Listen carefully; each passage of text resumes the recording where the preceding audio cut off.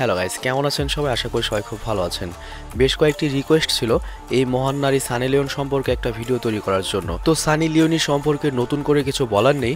আপনারা সবাই জানেন তিনি একসময় শুধুমাত্র এক্সট্রিম রোমান্টিক সিনেমা করতেন, যে সিনেমাগুলো শুধুমাত্র ভালোবাসা ছড়াতো। কারণ তার সিনেমাতে কোনো মারামারি, কাটাকাটি বা ক্রিমিনালি নেই, থাকে অনলি এক্সট্রিম ভালোবাসা।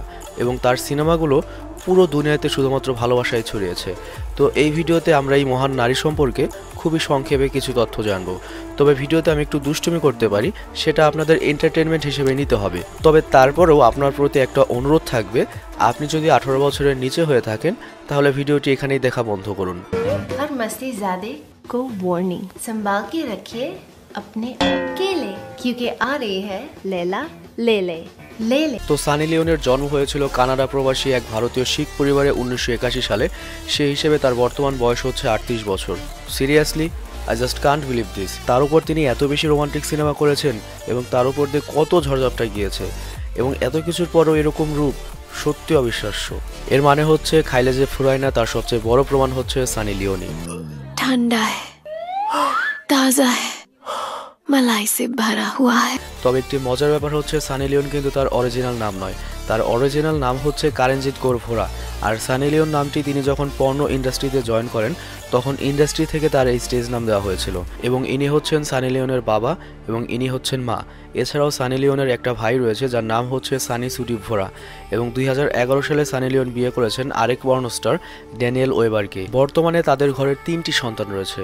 এর মধ্যে বড় মেয়েকে দত্তক নিয়েছিলেন তিন বছর পূর্বে দুই হাজার সতেরো সালে এবং দুই বছর পূর্বে দুই হাজার আঠারো সালে তাদের ঘরে যমজ দুটো পুত্র সন্তানের জন্ম হয়। বর্তমানে সানি লিওন আর পর্ণ মুভিতে অভিনয় করছেন না, তবে সেই পর্ণস্টারের জনপ্রিয়তা কাজে লাগিয়ে তিনি বর্তমানে বলিউডের মোটামুটি প্রতিষ্ঠিত অভিনেত্রী হিসেবে জায়গা করে নিয়েছেন।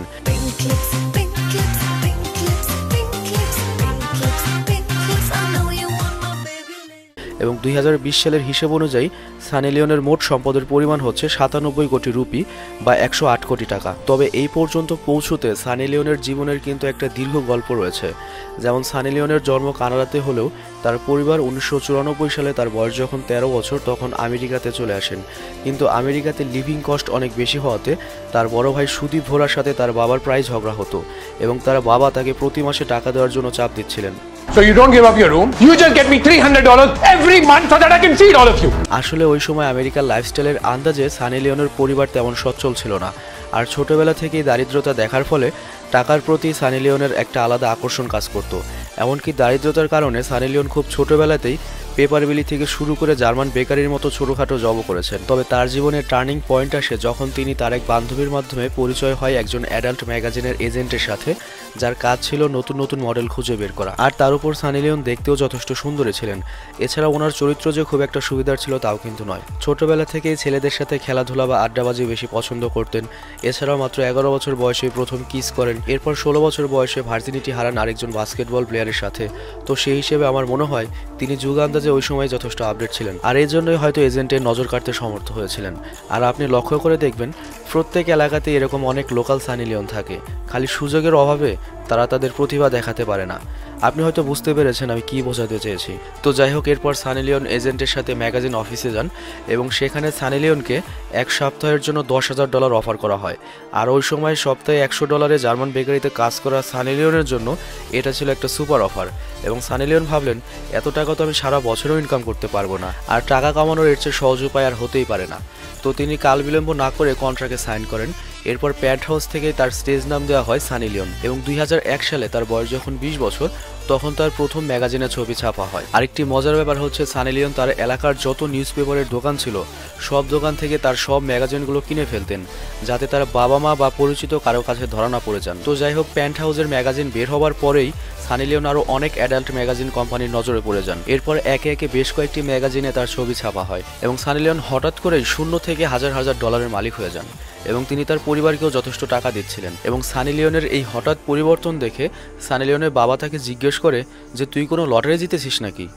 তিনি কোনো লটারি তবে সানি লিওন মুখ খোলেননি কিন্তু তিনি বুঝতে পারলেন যে তার ম্যাগাজিন যেভাবে ছড়াচ্ছে তাতে কারও না কারও মাধ্যমে তার এই কীর্তিকলাপের কথা অবশ্যই তার বাবা মায়ের কাছে প্রকাশ পাবে।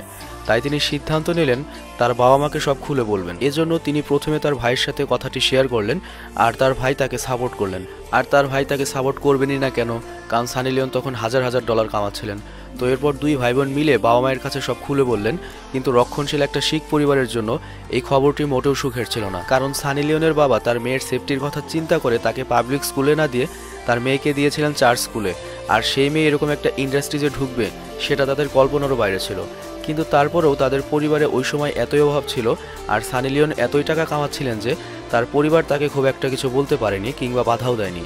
আর বাস্তবতা হচ্ছে একটা পরিবারের কোনো সন্তান যখন স্বাবলম্বী হয়, তখন তার উপর বাপ মায়ের প্রভাব খুব একটা খাটেও না। তো যাই হোক, সানি লিওন সামহাও তার পরিবার ম্যানেজ করলেন ঠিকই, কিন্তু খুব দ্রুত আমেরিকাতে বসবাসকৃত অন্যান্য শিখ কমিউনিটিতে সানি লিওনের এই কাজের কথা ছড়িয়ে যায়, যার ফলে ওই সময় সানি লিওনের পরিবার একরকম একঘরে হয়ে যায়।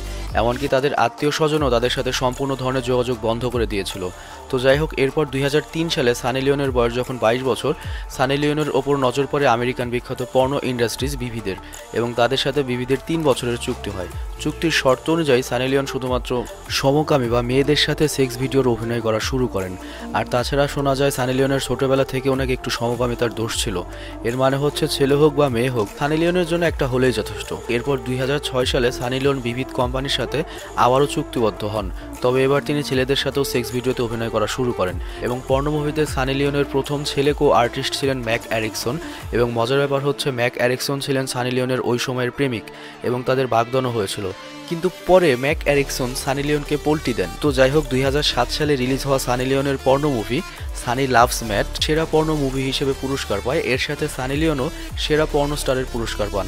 এরপর দুই হাজার আট সালে সানি লিওন পুরো দুনিয়াতে সেরা দশজন পর্ণ স্টারের মধ্যে একজন হয়ে ওঠেন। তবে ভারত উপমহাদেশে সানি লিওনের জনপ্রিয়তার কারণ হচ্ছে, আমাদের লোকাল পর্ণ লাভাররা সাধারণত দেশি পর্ণ ভিডিও ভালোবাসেন। আর সানি লিওন দেখতে ছিল ভারতীয় ললনা, কিন্তু ভিডিওগুলো পাওয়া যেত এইচডিতে। আর এজন্যই আমার বেশ কয়েকটি পরিচিত বন্ধুদের প্রথম চয়েস ছিল সানি লিওন। তো যাই হোক, এখানে আরেকটি কথা বলতে হচ্ছে। দুই হাজার সাত সাল থেকে দুই হাজার দশ সালের মধ্যে সানি লিওনের জীবনের বেশ কয়েকটি গুরুত্বপূর্ণ ঘটনা ঘটে যায়। প্রথমত, সানি লিওনের এসব কর্মকাণ্ডে তার বাবা মা বাধা না দিলেও তারা মানসিকভাবে মোটেও সুখী ছিলেন না। সানি লিওনের মা, সানি লিওন পর্ণ ইন্ডাস্ট্রিতে যোগদানের পর মারাত্মকভাবে মাদকাসক্ত হয়ে পড়েন, যার ফলে দুই হাজার আট সালে তার মৃত্যু হয়।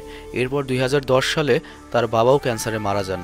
এছাড়াও দুই হাজার সাত সালে সানি লিওন যখন ম্যাক অ্যারিকসনের কাছে পোলটি খেয়ে মানসিকভাবে ব্যাপক বিপর্যস্ত অবস্থায় ছিলেন, তখন সানি লিওনের সাথে পরিচয় হয় তার বর্তমান স্বামী ড্যানিয়েল ওয়েবারের সাথে। তিনিও পর্ণ ইন্ডাস্ট্রিজে কর্মরত ছিলেন। তবে তাদের দুজনের পরিচয় হবার পর তারা একজন আরেকজনকে সত্যিকারের ভালোবেসে ফেলেন। এবং এর ফলে এর পরের পর্ণ সিনেমাগুলোতে সানি লিওন ডিমান্ড করে বসেন যে, তিনি তার বয়ফ্রেন্ড ড্যানিয়েল ওয়েবারকে ছাড়া অন্য কারোর সাথে অভিনয় করবেন না। এবং দুই হাজার আট সালের এক পর্যায়ে এসে তারা সিদ্ধান্ত নেন যে তারা আর পর্ণ সিনেমাই করবেন না। এরপর তারা নিজেরাই সানলাস্ট পিকচার নামে একটি কোম্পানি খুলে ফেলেন, যেখানে তারা অন্য পর্ণ স্টারদের দিয়ে কাজ করাতে চেয়েছিলেন। কিন্তু একটা পর্ণ ইন্ডাস্ট্রিজ চালু করা অত সহজ ছিল না। এমনকি তাদের সানলাস্ট কোম্পানি দাঁড়া করতে গিয়ে তারা আর্থিক সমস্যার সম্মুখীন হন এবং আবারও পর্নোগ্রাফিতে ফিরে যেতে বাধ্য হন এবং পরে অন্য ইন্ডাস্ট্রিজে ফ্রিল্যান্সার অভিনেতা হিসেবে টুকটাক পর্ন করতেন। তবে মজার ব্যাপার হচ্ছে, তাদের সানলাস্ট কোম্পানির ওয়েবসাইট আজও আছে কিন্তু সেই ওয়েবসাইটে কোনো ধরনের ভিডিও নেই। তো সানলাস্ট কোম্পানিতে তারা ব্যর্থ হন এবং অনেক টাকা নষ্ট হয়। আর এছাড়াও তারা চাচ্ছিলেন স্বাভাবিক জীবনে ফিরে আসতে, যার ফলে দুই হাজার দশ সালে সানেলিয়ন এবং ড্যানিয়েল ওয়েবার ফাইনাল সিদ্ধান্ত নিয়ে ফেলেন যে তারা আর কোনোভাবেই পর্ণ করবেন না। এবং এরকম হঠাৎ সিদ্ধান্তে তারা মোটামুটি ভালোই সমস্যায় পড়ে যান। কিন্তু তারা তখনও জানতেন না যে তাদের জীবনের আরেকটা টার্নিং পয়েন্ট অপেক্ষা করছে।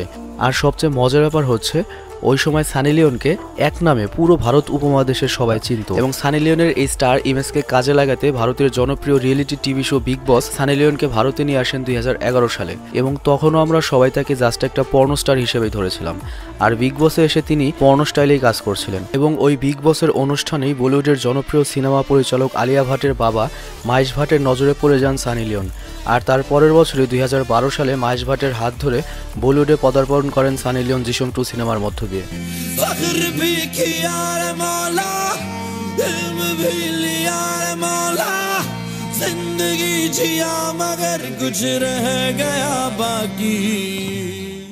আর এভাবেই নাম করা পর্নস্টার থেকে বলিউডের অভিনেত্রী হয়ে যান সানি লিওন। কিন্তু একজন পর্নস্টার হবে বলিউডের অভিনেত্রী এই বিষয়টি নিয়ে ওই সময় ব্যাপক আলোড়ন সৃষ্টি হয় এবং সবার আগ্রহের কেন্দ্রবিন্দু হয়ে যান সানি লিওন। এরপর দুই হাজার তেরো সালে জ্যাকপট সিনেমাতে সানি লিওনের অভিনয় যথেষ্ট প্রশংসা পায়।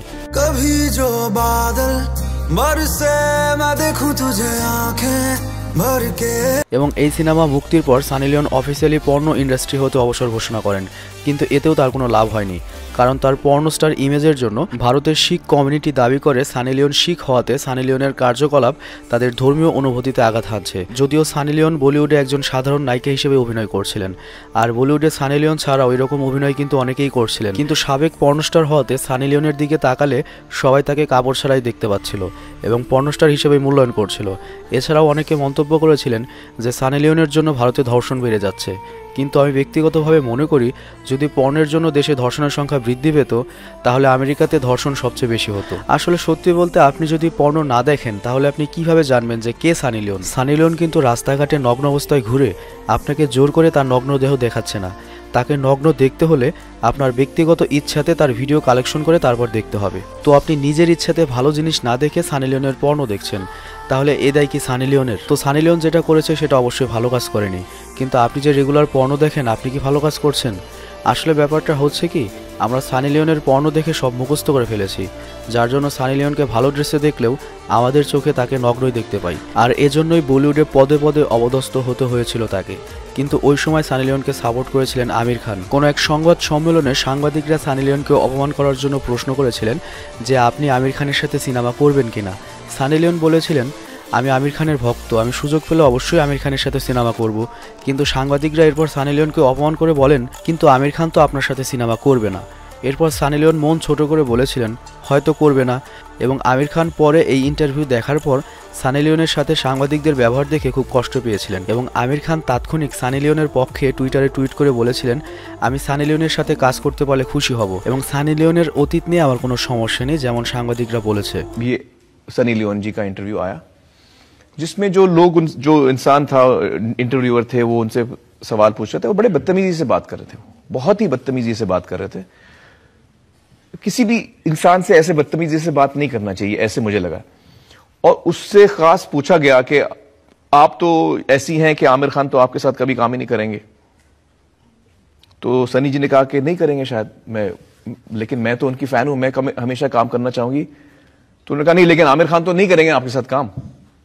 तो उन्होंने कहा नहीं करेंगे शायद तो मुझे बड़ा बुरा लगा रजत जी ये सुन के कि एक आदमी किसी को इंसल्ट कर रहा है और वो तो मैंने फौरन ट्वीट किया कि नहीं मैं बिल्कुल काम करूंगा आपसे आप क्यों उसकी बातों में आ रही हैं তো যাই হোক প্রগতিশীল সিনেমার দেশ ভারতে সানি লিওনের বিরুদ্ধে এসব অভিযোগ টিকতে পারেনি এরপর দুই সালে রিলিজ হয় রাগিনী এমএমএস টু এবং এই সিনেমা ব্যাপক হিট হয় মাত্র উনিশ কোটি টাকায় নির্মিত সিনেমা ওয়ার্ল্ড উইড প্রায় চৌষট্টি কোটি টাকা কামিয়ে ফেলে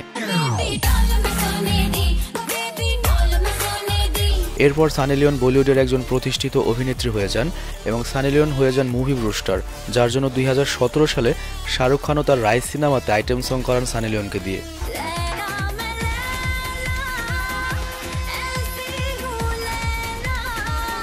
এছাড়াও সানি লিওন বলিউডের বাইরেও দক্ষিণের চলচ্চিত্র সহ এ পর্যন্ত বেশ কয়েকটি সিনেমাতে অভিনয় করেছেন।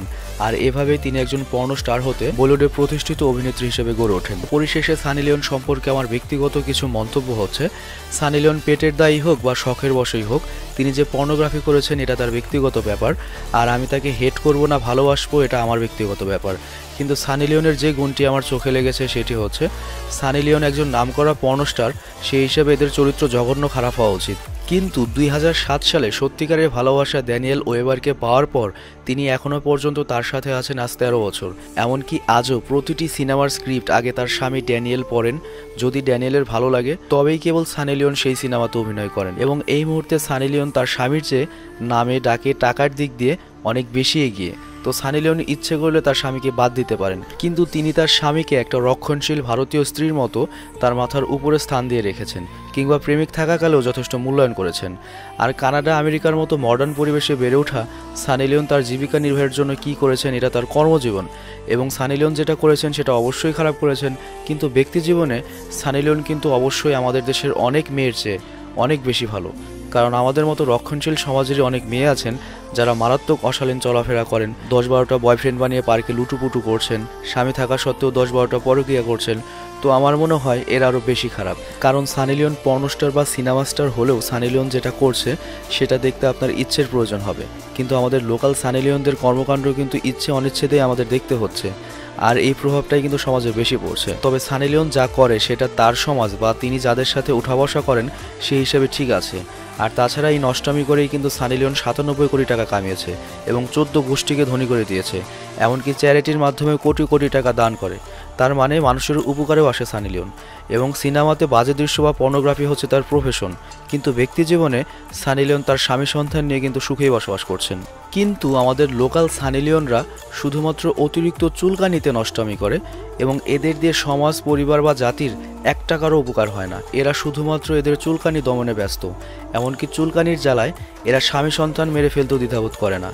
তো আমি মনে করি সানি লিওন এদের চেয়ে অনেক বেশি ভালো। আর আমি কিন্তু সানি লিওনকে প্রমোট করছি না বা ভালো বলছি না। কিন্তু আপনি যদি বুদ্ধিমান হন, তাহলে আমার পয়েন্ট হয়তো বুঝতে পারবেন।